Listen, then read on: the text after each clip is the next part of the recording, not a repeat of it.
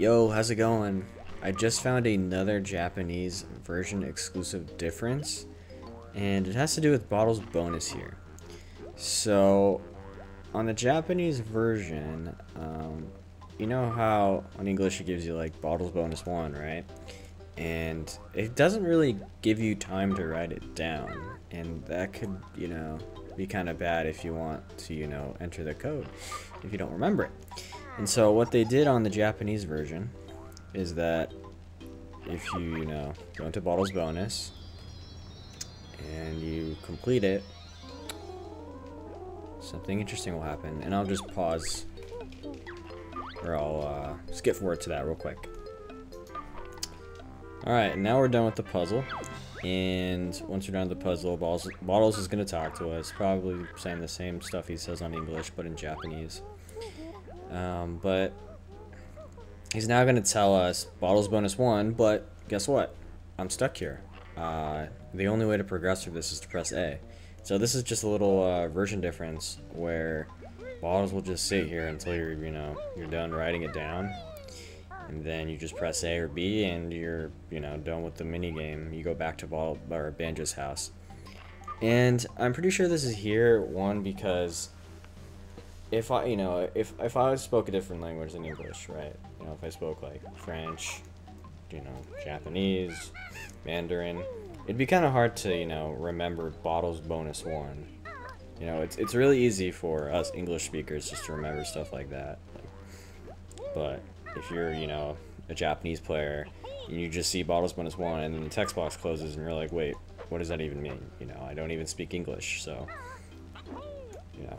This just gives you time to write it down, and it's probably just for the Japanese players because it's, you know, again, hard to, you know, write down something that you don't know the language of.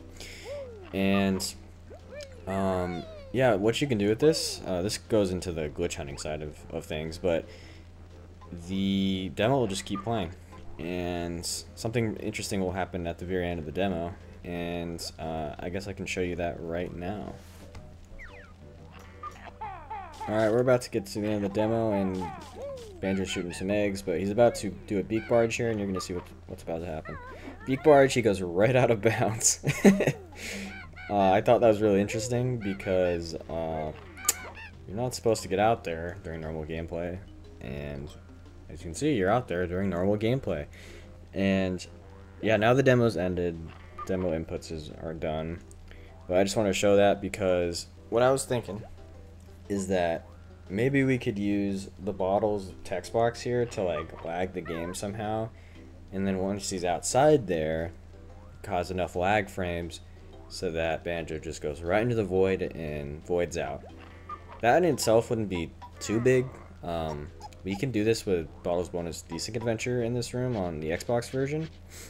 Well what would be even more important is if we were able to do this in either the click clock wood demo or the Rusty Bucket Bay demo.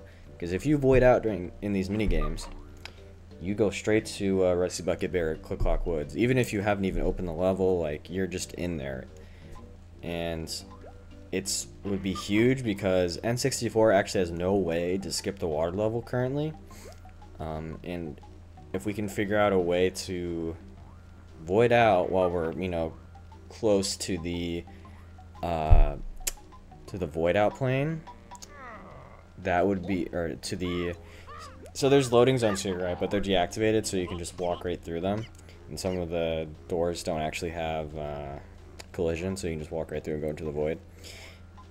And, you know, if you're able to do that on N64 and void out, you know, water level skip, that would be really, really huge and historic, and I'm hoping that this can let us do it. But it's just unfortunate it only works if maybe it could work on other versions, but I'm thinking maybe it could only work on the Japanese version because of this text box. But, um, but yeah, that's it. I just wanted to document this version change and then just some of the glitch hunting aspects of it. And yeah, and also this is not a thing on Xbox. It, I actually should probably check though to see if if it does this on on Xbox. Uh, if you turn on Japanese text, I actually am gonna try that right after this video but I'll, I'll keep a comment down below to, to see if I find anything. But thanks, and uh, thanks for watching, and I'll see you later. Bye.